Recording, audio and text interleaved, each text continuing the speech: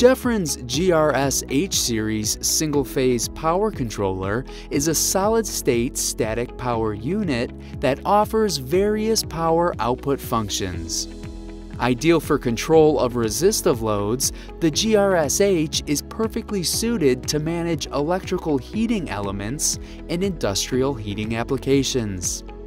Rated for up to 120 amps at 600 volts AC, the GRS-H is specifically equipped for high-temperature ambient conditions. Each controller is fitted with a high-efficiency heatsink, guaranteeing switching at temps up to 40 degrees Celsius. The GRS-H series can be controlled by DC and AC logical signals, managed through push-in connectors for a faster, easier connection. A variety of alarms and triggers are built into the controller to monitor thermal integrity and protect from overvoltage or interrupted loads. LED indicators on the controller show controller status in its normal or alarm state.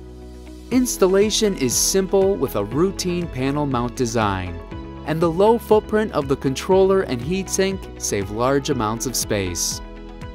To learn more about Gefran's GRS H Series power controller, visit us at galco.com.